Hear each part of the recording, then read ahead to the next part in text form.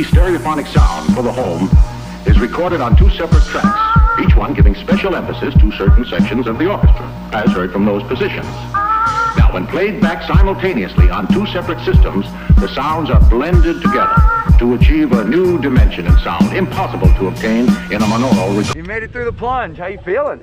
I'm feeling like this is definitely, I'm gonna do this often. This Yeah? is great. Cool, cool, man. Did great up there. Yeah. Made me look like you knew what, I, what you were doing already. So, what do you think? You already said to do it again. But what was your favorite part? Favorite part I think was falling. That Yeah. initial fall was so good.